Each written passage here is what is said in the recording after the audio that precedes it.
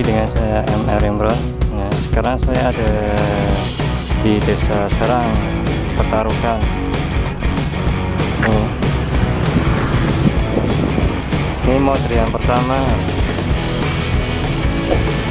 Bagian model yang kedua kita lihat dulu sebentar oh ya posisi saya juga di dekat stasiun Petarukan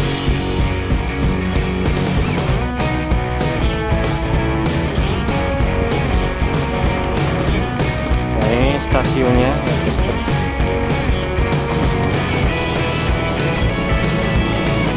nah, stasiunnya.